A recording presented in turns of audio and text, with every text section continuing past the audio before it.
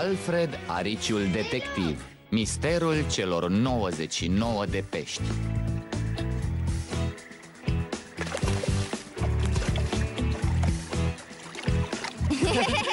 Pasează-mi o mie!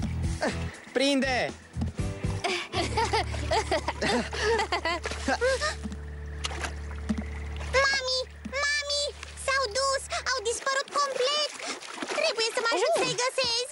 a dispărut, scumpă? Peștii mei, cei 99 de pești ai mei, au dispărut! Cei 99 de pești au dispărut? Da! Uite, mami! N-a mai rămas nici măcar unul! Erau prietenii mei! Le-am adus de mâncare! Trebuie să-i găsim! Lili, eu cred că tu cunoști persoana care îi poate găsi pentru tine. Alfred! Alfred! Oh! Ce s-a întâmplat, Lili? Alfred, e o măsură disperată, urgentă! Toate cuvintele alea mari care arată că trebuie să-i găsim acum! Ce să găsim, Lili? Vino să vezi! Peștii mei! Întotdeauna mă așteaptă aici! Au dispărut! Toți cei 99 de pești! Wow, o grămadă de pești! Trebuie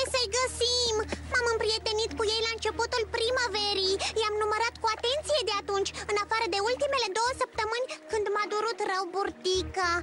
Ei nici măcar nu știu că m-am făcut bine. Lili, dacă peștii au dispărut, sunt sigur că au fost... Lili, Alfred vrea să spună că îi vom găsi. Da! Știu că poți să faci asta, Alfred, știu sigur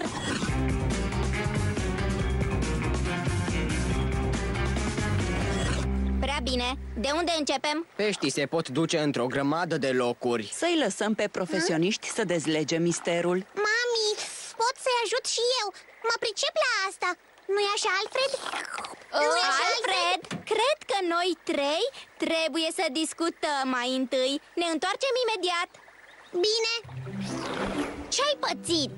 Ce-am pățit? Probabil că peștii au fost mâncați deja. Cum să-i spun asta surioarei mele? E un lac plin de pești Locuitorii de aici mănâncă pește, mister deslegat În orice caz au fost 99. Un locuitor al pădurii ar prinde pe toți? Bine punctat, dar peștii se mănâncă Milo, ai putea vorbi mai încet? Nu știm dacă peștii au dispărut cu adevărat. Am putea trata cazul ăsta ca pe altele?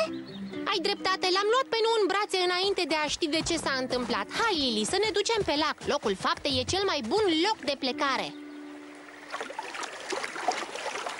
Poate nu și-au găsit drumul înapoi Așa se vorbește? da. Uh, bine, nu există urme de pași sau de vreo luptă sau de transportare a celor 99 de pești. Ah, Nici urmă de pescuit? Asta îmi dă fiori Asta înseamnă că sunt încă în lac Poate i-a atacat o creatură din văzduh. Poate a coborât un pterodactil și a halit pe toți cei 99 de pești din lac. Asta ar explica lipsa urmelor. Milo, nu avem idee dacă au fost... Dacă nu acționăm rapid, nu o să ne mai rămână niciun pește în lac. Odată ce au dispărut, au dispărut pe vecie. Ecosistemul e condiționat de pești. Gândiți-vă la mine. Să nu mai pot pescui, e un dezastru Ce e? Lili, cred că ar fi cel mai indicat să-l rugăm pe Lugubrius să cerceteze lacul în căutarea celor 99 de pești. Da, Lugubrius Bună alegere, carapace tare Așadar, ce trebuie să caut? Cum arătau peștișorii tăi, Lili? Erau foarte frumoși Erau mici, închiși la culoare Aveau burtica mare Poate că le-am dat prea multă mâncare. Am înțeles, mici de culoare închisă cu burtica mare. Mă grăbesc cât poate o țestoasă de mult. Dacă apare un pterodactil prin preajmă, nu uita, ai o carapace tare care te protejează. Am reținut. Lugubrius o să-i găsească sigur. Sper că da Deja um, a trecut o vreme De ce durează atât de mult timp? Sper că nu a apucat să-l prindă un pterodactil mâncător de pești. Bu! Ah, nu-i deloc amuzant, Lugubrius. Lugubrius! Ei bine, Lugu, ai văzut vreun pește? Da, 212 să fiu mai precis. Am făcut prezența. Cum e cu peștii mei?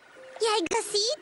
Știi, unul se numește Fred, iar altul... Uh, îmi pare rău, Lili, dar nu i-am găsit.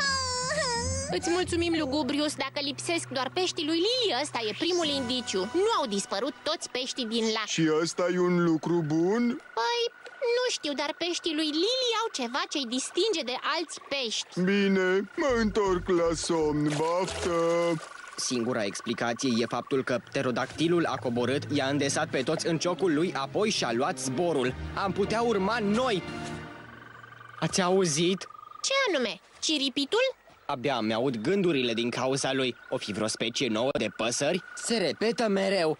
Poate o fi strigătul victorios al monstrului mâncător de pești. Care monstru mâncător de pești? Milo e indispensabil pentru echipa noastră datorită imaginației sale bogat colorate. Nu e niciun monstru mâncător de pești. Nu, Lili, nu e. Ai dreptate, Camil. Ciripitul acesta curios reprezintă al doilea indiciu. Desigur, nimeni nu știe ce fel de sunet scoate pterodactilul. Ar putea fi chiar sunetul ăsta. Nu prea cred, Milo. Haideți să căutăm indicii, trebuie să mai aflăm câteva.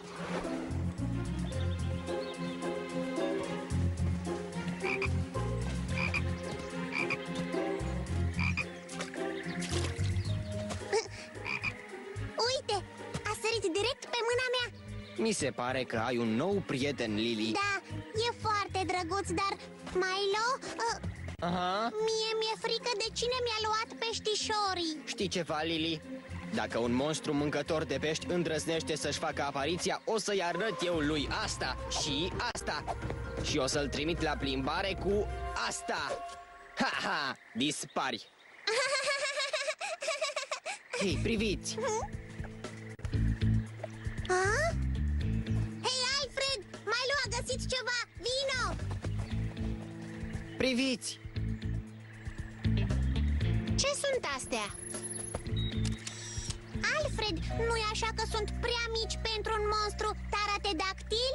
Pterodactil. Sunt suficient de mari pentru o masă. Nu e un monstru pterodactil mâncător de pești, dar e sigur ceva. Urmele sunt al treilea indiciu. Metodele tale sunt ciudate, dar așa cum spunea Milo, ești indispensabil pentru echipă.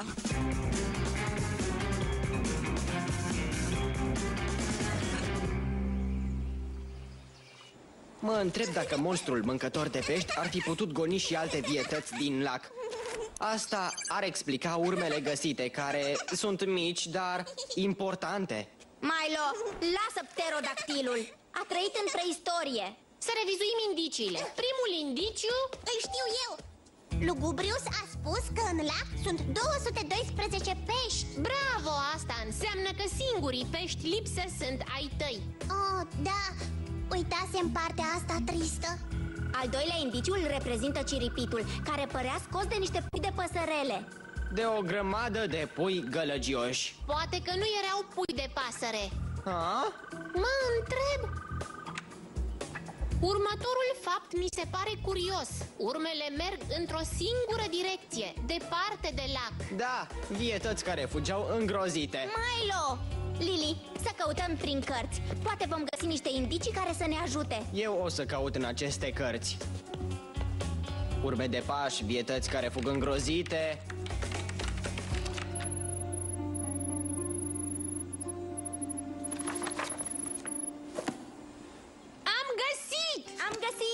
Găsit! Am găsit! Ah! Ce ați găsit cu toții? Îi spune cineva și fetiței ăsteia? Milo avea dreptate, ceva chiar a gonit peștii din lac. Mama natură! Privește, Lili, vezi urmele astea mici? Știm ale cui sunt. Ale cui? Ale peștilor tăi. Am înțeles, dar vezi tu, Alfred, peștii nu au picioare Nu au, ai dreptate. Dar uh, noi asta am căutat. Nu, Lili, ai pe tine exact ce căutam. Dar asta e o broscuță. Asta era când înnotau un lac. Erau mormoloci Mormo, ce? Ciclul vieții unei broaște începe cu ouăle, din care ies mormolocii care seamănă cu niște peștișori. Dar pe măsură ce trec săptămânile, forma li se schimbă Le cresc brațe și picioare și ajung broscuțe adevărate. Sunetul pe care l-am auzit nu era ciripit de păsări, ci era orăcăitul lor. Ăsta e Fred, uite. Serios? Dumnezeule, ai dreptate! Chiar e Fred! Ai dezlușit misterul! Știam eu că o să faci